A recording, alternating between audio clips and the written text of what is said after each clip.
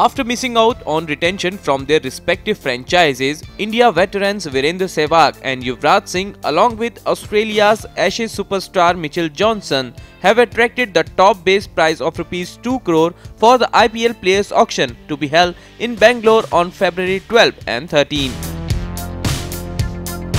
Among the 233 players, only 31 cricketers have attracted the highest base prize of rupees 2 crore. 11 Indian capped players are in the rupees 2 crore club while 10 are from Australia.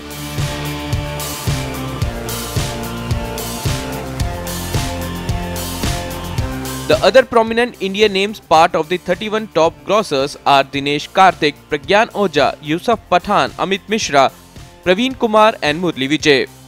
IANS report.